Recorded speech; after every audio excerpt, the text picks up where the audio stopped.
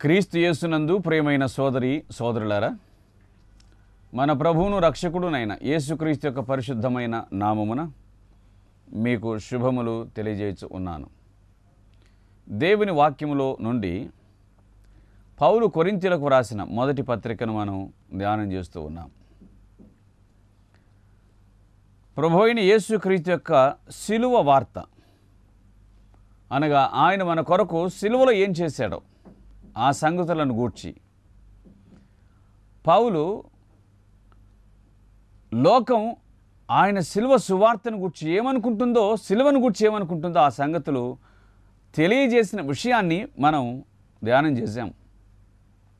కొందరికి అది వెరితనం. కానీ రక్షించబడే వాళ్ళకి అది దేవుడి శక్తి. సువార్తలో దేవుడు తన శక్తిని ఉంచాడు. దేవుని శక్తిని అనుభవించటం సువార్తను విశ్వసించటం. ఈ భాగ్యమును పొందిన వారు ధన్యులు. పౌరు కొరింతలకు వ్రాసిన మొదటి పత్రిక మొదటి అధ్యాయము ఇరవై రెండవ వచనాన్ని నేను చదువుతూ ఉన్నాను. యూదులు సూచక్రియలు చేయమని అడుగుచున్నారు. గ్రీసు దేశస్థులు జ్ఞానమును వెతుకుచున్నారు. అయితే మేము సిలువ వేయబడిన క్రీస్తును ప్రకటించుచూ ఉన్నాము. మేము సిలువ వేయబడిన క్రీస్తును ప్రకటించుచూ ఉన్నాం సిలువ ఎవరికి ఏ విధంగా ఉందో సిలువలో ఉన్న క్రీస్తు ఎవరికి ఏ విధంగా ఉన్నాడో దేవుని వాక్యం చెబుతుంది. యూదులు సూచక్రియలను అడుగుచున్నారు. నిజమే. వారి పితరుల కాలంలో వారు చూడగలిగింది అవే సూచక్రియలు అద్భుతాలు ఆశ్చర్యకార్యాలు చూశారు. వారి ఉత్పత్తి అద్భుతం ఆశ్చర్యం. అనగా దేవుడు అబ్రహాంను పిలిచాడు నిండు వృద్ధాప్యమున సంతానాన్ని ఇచ్చాడు వాగ్దాన పుత్రుణ్ణి ఇచ్చాడు. అదో అద్భుతం ఆశ్చర్యకరమైన విషయం. ఇసాకు జననంతో ప్రారంభమై ఎన్నో అద్భుత కార్యాలు జరిగాయి. అద్భుతాలు అన్నటువంటివి సూచక్రియలు అన్నటువంటివి ఇష్రాయిలీల జీవితంలో సాధారణం అయిపోయాయి ఐగుప్తు దేశంలో వారు వాటిని చూడగలిగారు. ప్రవక్తల కాలంలో వారు ఈ సూచక్రియలను అద్భుతాలను చూడగలిగారు. అందుచేత ప్రభోయిని యేసుక్రీస్తు చేసే అద్భుతాలను గూర్చి వారు విన్నారు వారు చూశారు. కానీ ఆయన దగ్గరకు వచ్చి మేము నేను విశ్వసించినట్లుగా మాకొక సూచక్రియను చూపించు అని అడిగారు. మేము నిన్ను విశ్వసించినట్లుగా మీకు అర్థమవుతుందా? మేము నిన్ను నమ్మాలి అంటే నువ్వు మాకొక కార్యాన్ని చూపించాలి. నీవు మాకు ఒక అద్భుతాన్ని చూపించాలి. అప్పుడు మేము నిన్ను నమ్ముతాము అని అన్నారు. యూదులు సూచక్రియను కోరుచు ఉన్నారు. ఈ రోజుల్లో కూడా ఎవరైనా నాకు దేవుడు ఏదైనా మేలు చేస్తే నేను నమ్ముతాను అని అంటున్నారు అంటే వారు దేవుని శోధకులు అని చెప్పాలి. ఎందుకంటే నీవు దేవుని కుమారుడవైతే క్రిందికి దుముకుము నీవు దేవుని కుమారుడవైతే శిలువ మీద నుంచి దిగిరమ్ము. నువ్వు అయితే ఈ పని చెయ్యి అని అన్నారు. అంటే ఆయన యొక్క దేవత్వాన్ని ఆయన శక్తిని వారు పరీక్షించడానికి పూనుకున్నారు. తన దేవత్వాన్ని తన శక్తిని రుజువు చేయమని డిమాండ్ చేసినప్పుడు యేసు ప్రభు ఏమి చేయలేదు. మౌనుడు అయ్యాడు ఆయన. కానీ అవసరం వచ్చినప్పుడు ఆయన ఎన్నో కార్యాలు చేశాడు. ఇలాగుని చెప్పాలి. డిమాండ్ చేసినప్పుడు అడిగినప్పుడు మాత్రం ఆయన ఏమి చూపించలేదు. అవసరమైనప్పుడు మాత్రం కావలసినన్ని క్రియలు ఆయన చేశాడు. దేవుణ్ణి శోధించవద్దని మనవి. ప్రభువా నీవు నాకు సంతానం ఇస్తేనే నీవు నాకు ఉద్యోగం ఇస్తేనే నీవు నాకు ఆరోగ్యం ఇస్తేనే నీవు నాకు ఐశ్వర్యం ఇస్తేనే నేను కోరినవి నాకు ఇస్తేనే అప్పుడు నీవు నాకు దేవుడు వగుదువు అని అనకండి. అలాగున ప్రార్థన చేయకండి. అది యాకోబు ప్రార్థన. అతడు దేవుణ్ణి ఎరుగక ముందు చేసిన ప్రార్థన. దేవుని ఎరిగిన వారు ఈ విధంగా ప్రార్థన చేయకూడదు.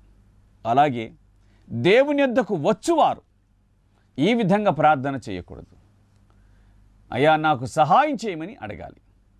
దయం పట్టిన కుమారుని తండ్రి ప్రభుని యేసుక్రీస్తు దగ్గరకు వచ్చి అడిగాడు అయ్యా ఏమైనా అయితే నీ వల్ల అవుతుంది? దయచేసి నాకు సహాయం చేయమని చెప్పి బిగ్గరగా అతడు ప్రభువును అడిగాడు.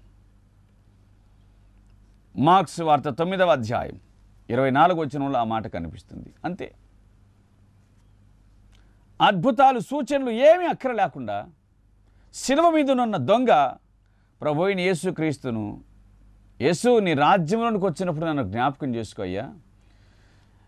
నీవు నాకేమి అద్భుతం చూపించాల్సిన అక్కర్లేదు కింద ఉన్న వాళ్ళు అడుగుతున్నారు. నీవు దేవుని కుమారుడైతే కిందికి దిగరా అని అడుగుతున్నారు. ప్రక్కనున్నవాడు నీవు క్రీస్తువు కదా తప్పించుకో మమ్మను కూడా తప్పించు రుజువు చేయవయ్యా అని మాట్లాడుతూ ఉన్నాడు. కానీ ఈ దొంగ మాత్రం నాకు అవేం అక్కర్లేదయ్యా నీ రాజ్యంలోనికి వచ్చినప్పుడు నన్ను జ్ఞాపకం చేసుకో అని అన్నాడు. క్రింద ఉన్న యూదులు ఆయనను హేళన చేస్తూ డిమాండ్ చేస్తుంటే ఒక్క మాట కూడా మాట్లాడలేదు. క్షమించమని అడగటం మినహాయించి క్షమించడం తప్పించి ప్రక్కనున్నవాడు ఏం మాట్లాడినా ఆయన ఒక్క మాట కూడా మాట్లాడలేదు. క్షమించను మినహాయించి. కానీ యువతలున్నవాడు యేసు నాకు ఏం అక్కర్లేదయ్యా. నేను గ్రహించుచున్నాను. నీవు నీ రాజ్యంలోనికి వచ్చినప్పుడు నన్ను జ్ఞాపకం చేసుకున్నప్పుడు వెంటనే తన నోరు తెరిచి అతనికి ఆయన జవాబు ఇచ్చాడు. సోదరి సోదరులారా అడిగితే డిమాండ్ చేస్తే నువ్వు దేవునివి అయితే నాకు ఈ పని చేసి పెట్టు అంటే మన మీద దేవుడిలాగా ఆయన ఏదో దాసుడిలాగా మనకు పని చేసి పెట్టడు అని మనం గుర్తుంచుకోవాలి. మనము దాసుల వలె దీనుల వలె దీనుల మై ఆయనను అడిగితే అప్పుడు ఆయన సహాయం చేయుటకు ఇష్టపడతాడు. యూదులు సూచక్రియను కోరుచు ఉన్నాడు అయితే వారు అడిగినప్పుడు ఆయన చెప్పిన మాట ఇదే యోనాను గూర్చిన సూచక్రియ తప్ప ఇక మరి ఏ సూచక్రియ అది మీకు అనుగ్రహించబడదు అని ప్రభు యేసుక్రీస్తు తను ప్రశ్నించిన వారికి ఆ సంగతిని ఆయన తెలియజేశాడు. ప్రియులారా దేవుని వాక్యం మనకు సెలవిచ్చే సత్యం ఇది. మనం ఎప్పుడే కానీ ఆయనను దేవత్వాన్ని రుజువు చేయటానికి శోధించకూడదు అని మనం జ్ఞాపకం చేసుకుందాం. అలాగుండి గ్రీసు దేశస్తులు ఏం చేస్తున్నారు? అని అనగా దేవుని వాక్యం చెబుతుంది. కొరింతి మొదటి పత్రిక మొదటి అధ్యాయం ఇరవై రెండవ వచనం. గ్రీసు దేశస్థులు జ్ఞానమును వెతుకుచున్నారు. గ్రీసు దేశస్థులు జ్ఞానమునకు పేరు పడ్డవారని పేరుగాంచిన వారని సంగతి మనము ఎరుగుదము. యోహాన్సు సువార్త పన్నెండవ అధ్యాయం. ముప్పై వచనము నుంచి మనం చూడగా కొందరు గ్రీసు దేశస్థులు ఆరాధించే వారిలో ఉన్నారు. వారు ఫిలిప్ దగ్గరకు వచ్చి అందరి దగ్గరకు వచ్చి మేము ప్రభువును చూడగోరుచున్నాం అని అన్నారు. ఈ మాటలు వారు ప్రభుతో చెప్పారు. ఏమన్నారు అని అనగా ఆయన ఇలాగన్నాడు గ్రీసు దేశస్థులు నిన్ను చూడగోరుచున్నారయ్యా అని అనగానే ఆయన ఇలాగన్నాడు యోహాను సువార్త పన్నెండవ అధ్యాయం. ఇరవై నాలుగు వచ్చిన గోధుమ గింజ భూమిలో పడి సావకుండి నెడల అది ఒంటిగానే నిలిచి ఉండను. చచ్చినెడల అది విస్తారముగా ఫలించును అని ఆయన అన్నాడు.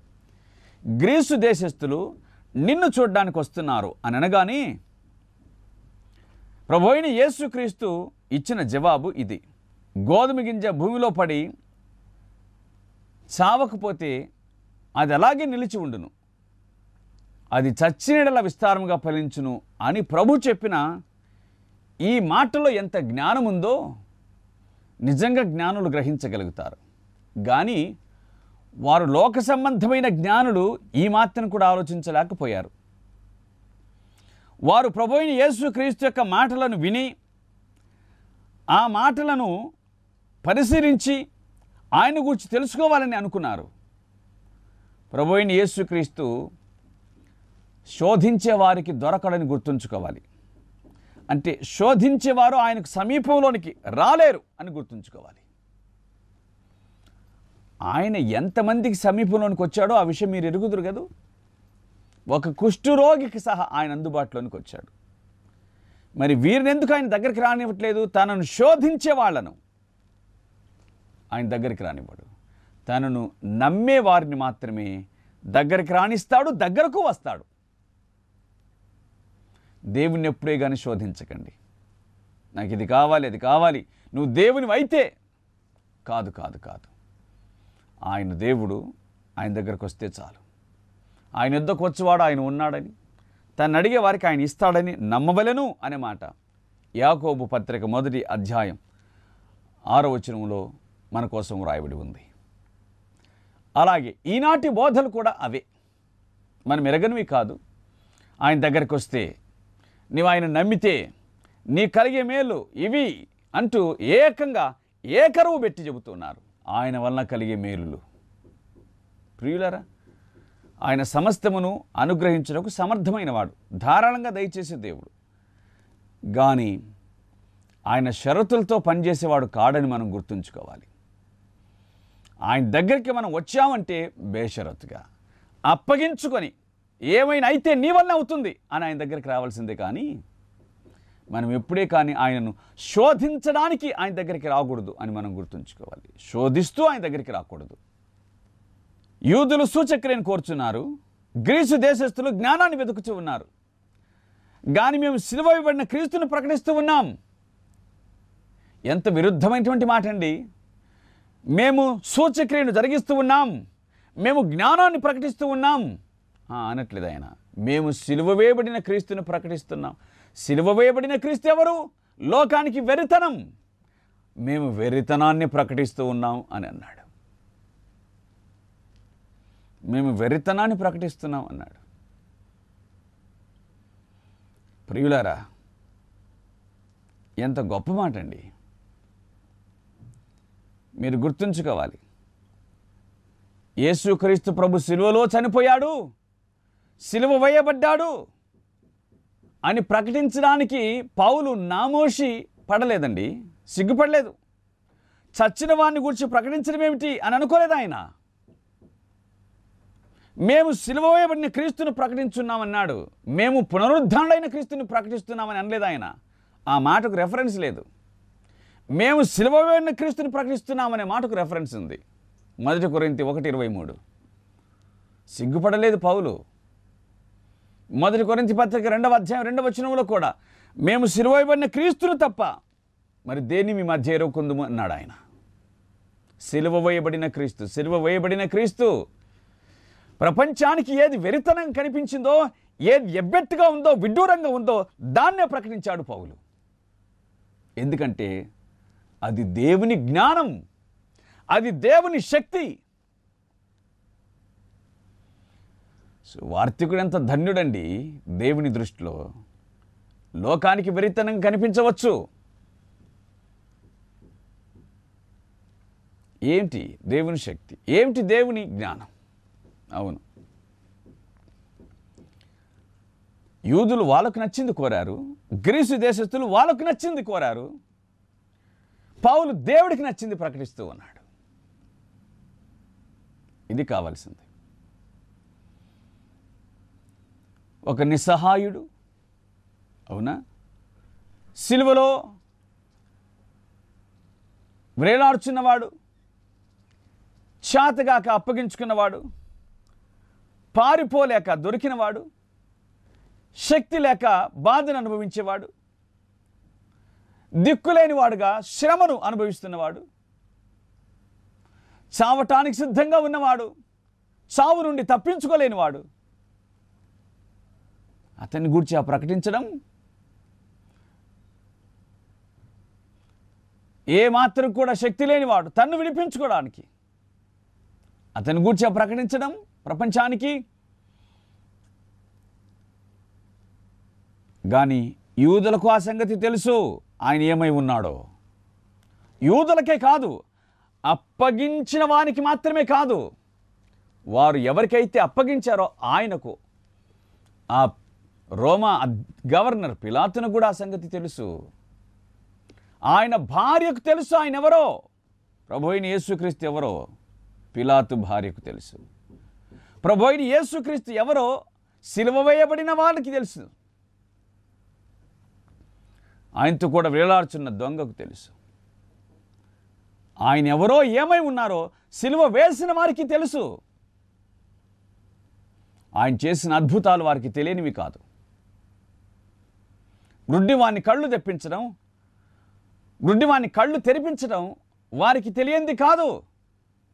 లాజర్ను సమాధిలోంచి బయటికి రప్పించడం ప్రాణం పోయడం వారికి తెలియంది కాదు. అన్నీ తెలుసు. అందుకే పిలాతు ఆయన నా అసూయ చేత అప్పగించిరి అని గ్రహించాడు. ఆయనకు తెలుసు అందరికీ తెలుసు. సోదరి సోదరులారా ఆయనను నిస్సహాయునిగా చేతగాని వానిగా ఏదో మూడు మేకుల్లో ఇరుక్కుపోయిన వాడిగా అసమర్థునిగా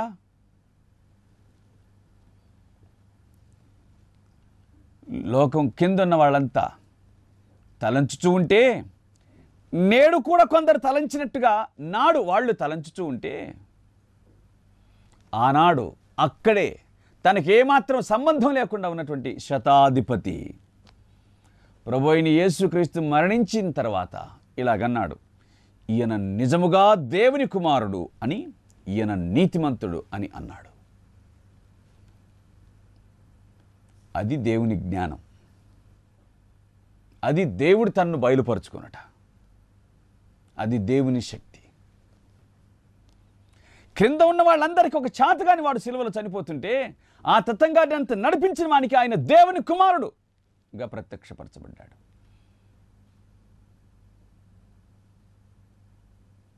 క్రింద ఉన్న వాళ్ళందరికీ హేళనగా కనిపిస్తుంటే ఆ సిలువలో వేలాడుచున్న ఆయన నీతిమంతుడిగా కనిపించాడు. అది దేవుడి కార్యం. అది దేవుని ప్రత్యక్షత. పొందిన వానికి తప్ప మిగతా వాడికి తెలియదు.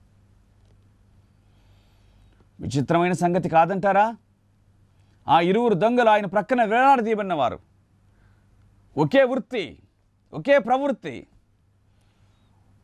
ఒకే నేర స్వభావం. కానీ కాసేపట్లో మారిపోయాడు. ఇద్దరు గమ్యాలు వేరయ్యాయి. భావం వేరయింది. జీవితం వేరయింది. యువతలి వాడు గ్రహించాడు ఆయన వీళ్ళనుకుంటున్నట్టుగా చేతగాని వాడు కాడు. ఆయన రక్షకుడు అనే సంగతిని అతను గ్రహించాడు. కాబట్టి ప్రభువును అర్థించాడు. గ్రీసు దేశస్తుల దగ్గరికి వద్దామా? జ్ఞానం అంటే వారిదే. కానీ ప్రభు యేసుక్రీస్తు దేవుని జ్ఞానమై ఉన్నాడు. దైవ జ్ఞానం అంటే ఏమిటో ఆయన మాటలు మనకు దొరుకుతుంది. గ్రీసు దేశస్తులు కాదు. ప్రపంచంలో మరి ఎవ్వరూ చెప్పలేనటువంటి మాటలను ప్రభు యేసుక్రీస్తు పలికాడు. మత్తయి వార్త ఐదవ అధ్యాయం ఆరవ అధ్యాయం ఏడవ అధ్యాయంలో ఉన్న మాటలు ఈ మూడు అధ్యాయాల్లో ఉన్నటువంటి మాటలు ఏ జ్ఞాని పలికాడండి? ప్రభు అయిన యేసుక్రీస్తు పలికిన మాటల సారమేమిటో మనం ఎరుగుదు. ఆయన మాటలు ప్రపంచానికి అవసరం. ఎస్ ఆయన మాత్రమే శాంతిని కలిగించువాడు. ఈ సంగతిని దేశాధినేతలు గ్రహించుదురుగాక. ప్రియులారా సిలువ వేయబడిన క్రీస్తుని మేము ప్రకటిస్తున్నాం. ఆయన ఎవరు? ప్రపంచానికి వెరితనంగా కనిపిస్తున్నాడు. ఆయన అన్య జనులకు వెరితనం ఒక చేతగాని వాడు తానే చచ్చిపోయిన వాడు మనల్ని రక్షిస్తాడా? అన్య జనులకు వెరితనం ఆ మూడు మేకుల్లో తాను చనిపోయిన వాడు మనలేం రక్షిస్తాడు? అన్యజనులకు వెరితనం ఎందుకంటే వాళ్ళకు తెలిసింది అంతే. ఒకవేళ మిగతాది తెలిసినా చెప్పరు. ఎందుకంటే తాము ఓడిపోతాం కాబట్టి. సిలువలో తప్పించుకోలేక చిక్కిపోయాడా? అసలు ఆయన్ని ఎవరు అప్పగించారు? ఇస్కరియత్ యూద అప్పగించాడా? కాదు కాదు కాదు. మీరు ఎవరిని వెతుకుచున్నారు అని అడిగి అప్పగించుకున్నాడు ఆయన. నిష్క్రియత యూద అప్పగించితే కాదు. మేము నజరేడిని యేసుని వెతుకుచున్నామన్నారు ఆయనతోనే. అప్పుడు ఆయన అన్నాడు నేను ఆయనను అన్నాడు. తన్ను అప్పగించుకున్నాడు కానీ ఇస్క్రియత్ యూద అప్పగించితే అప్పగించబడిన వాడు కాడు సుమా. గుర్తుంచుకుందాం? లేండి మనిషి కుమారుడు పాపుల చేతికి అప్పగించుకొనబోతున్నాడు ఇది అపవాది గడియ అని ప్రభు తన్ను తాను అప్పగించుకున్నాడు సుమా. జ్ఞాపకం చేసుకోవాలి. ఆయన చనిపోయి తిరిగి లేచి పరమునకు వెళ్ళినవాడు. చేతగాని వాడు కాదు సుమా. లాజరు బయటికి రా అంటే వచ్చాడు. చిన్నవాడ లెమ్మంటే లేచాడు చనిపోయినవాడు. తలితాకుమి చిన్నదాన లెయ్యి అంటే లేచాడు. ఎవరాయన? జీవప్రదాత. ఎందుకు మరణించాడు? నీకు ప్రాణం పెట్టడానికి నీకు జీవం ఇవ్వడానికి నీకు నిత్య జీవం అనగా పరలోక రాజ్య ప్రాప్తి నీకు అనుగ్రహించడానికి ఆ ప్రాప్తం నీకు కలగడానికి. అంతేగాని నిస్సహాయుడు కాదు. రాబోతున్నాడు రాబోతున్నాడు ఆయన. వస్తాడు. ఆయన ఇచ్చిన నిరీక్షణ అదే తనను విశ్వసించిన వారికి. ఆయన వస్తాడు. దేవుని వాక్యం చెప్పే మాట చదవగా గుండె గుబేలు అంటుంది ప్రకటన గ్రంథము మొదటి అధ్యాయము ఏడవ వచనంలో ఆయనను పొడిచిన వారును ఆయనను చూస్తారు అనే మాట వ్రాయబడింది. వస్తాడు ఆయన? మేఘారూరుడై వెళ్ళాడు మేఘారూరుడై వస్తాడు. ఆయనను పొడిచిన వారు ఆయనను చూచెదరు. తప్పించుకోలేరు. సోదరి సోదరులారా క్రీస్తు అన్ని జనులకు వెరితనం. క్రీస్తు యూదులకు ఆటంకం. కానీ నమ్ము ప్రతివానికి యూదుడేమి గ్రీసు దేశస్థుడేమి దేవుని శక్తి. ఈ శక్తిని అనుభవించమని ప్రేమతో మనవి చేస్తూ ఉన్నాను.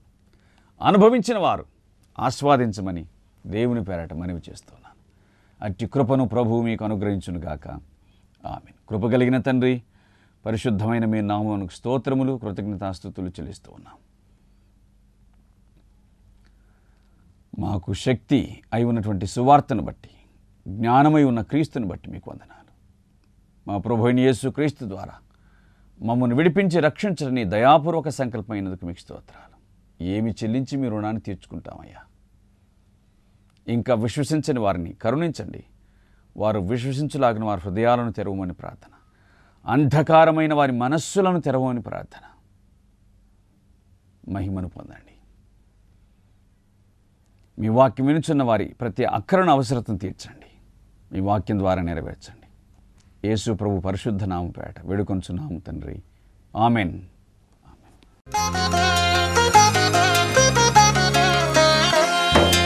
మన్నే కదయ్యా మన్నే కదయ్యా మన్నే కదయ్యా మన్నే కదయ్యా మనలోని ఆత్మజ్యోతికి తప్ప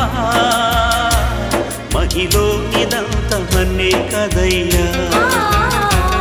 మనలోని ఆత్మజ్యోతికి తప్ప మహిలో మహిలోనిదంత మన్నే కదయ్యా.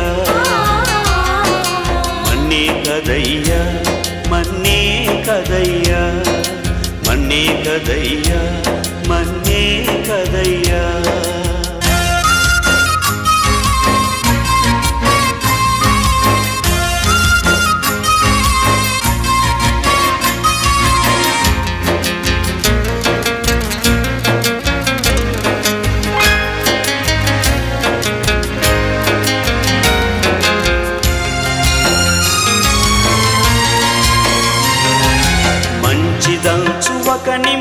సంచిలోన ఉంచిన మిల్చిన బంగారము పెంచిన నీ దేహము.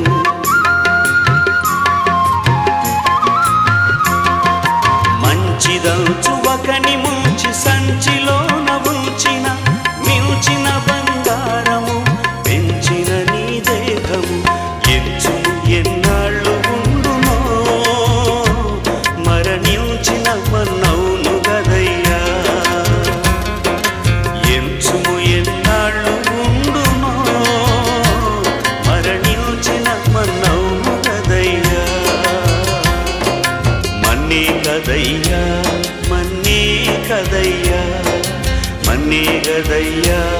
కదయ్యా మన్నే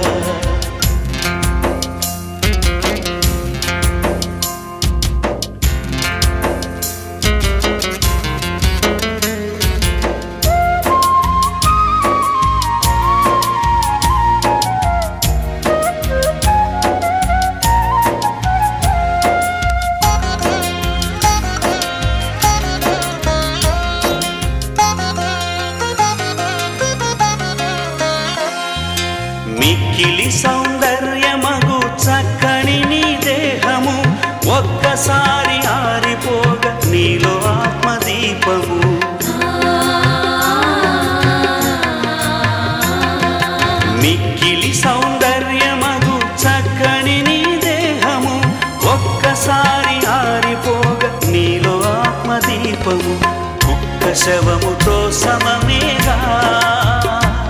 నిక్కముగనది మన్నే కదయ్యా. కుక్క శవముతో సమమేగా. నిక్కముగనది మన్నే కదయ్యా. మన్నే గదయ్యా మన్నే కదయ్యా. మన్నే గదయ్యా మన్నే కదయ్యా.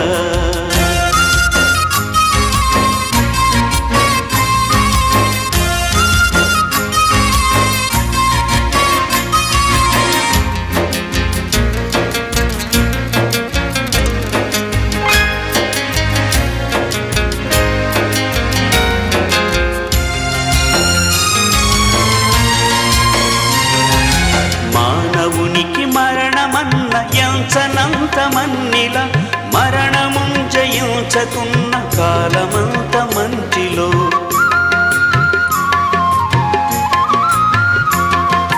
మానవునికి మరణమన్న యోచనంత మన్నిల మరణము జయించకున్న కాలమంత మంచిలో.